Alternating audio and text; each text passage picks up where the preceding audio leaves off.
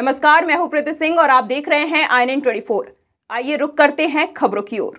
ऐतिहासिक बस्तर दशहरा की तैयारियों पर आज सांसद दीपक बैच ने पत्रकार वार्ता ली। दशहरा पर्व के दौरान बाहर से आए पर्यटक, श्रद्धालुओं एवं ग्रामीण लोगों की जन भागीदारी काफ़ी संख्या में रहती है। दशहरा पर्व का आनंद, पूरी सद्भावना, गरिमा के साथ निर्विघ्न संपन्न कराया जा सके इस पर चर्चा की गई।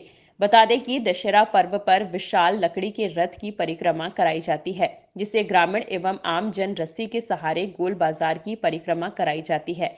यह परंपरा पिछले 600 वर्षों से अनवरत जारी है। पिछले दो वर्ष कोरोना की वजह से पाबंदियों के साथ रथ परिचालन हुआ, परंतु इस वर्ष कोरोना के नियंत्रण में होने से काफ़ी भीड़भाड़ होने की संभावना है।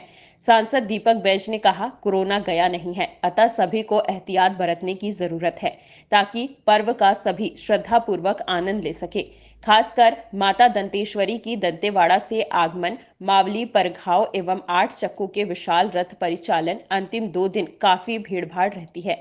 नवरात्र का अंतिम दिवस होता है। इस वजह से मंदिरों में दुर्गा मंडपों एवं दशहरा देखने आए हुए देसी विदेशी पर्यटक सहित आम बस्तर के लोग भारी संख्या में शहर में होते हैं। इस दौरान किसी को किसी प्रकार की परेशानी ना हो, कहीं कोई अप्रिय घटना ना हो। इसे मद्देनजर रखते हुए पुलिस की चाक चौबंद व्यवस्था रहे, इस पर विशेष ध्यान देने की ज़रूरत है।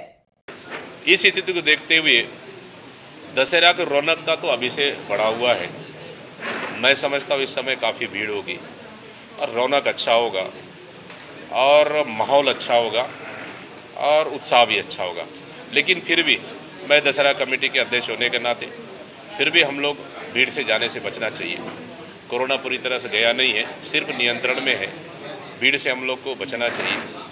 फिर भी दशहरा कमेटी जिला प्रशासन लगातार सामंजस्य बना के काम कर रही है और मतलब भीड़ को नियंत्रण करने के लिए और हर परिस्थितियों से निपटने के लिए जिला प्रशासन सक्षम है और निश्चित रूप से इसके लिए हम लोग लगातार सुचारू रूप से हम लोग व्यवस्था कर रहे हैं।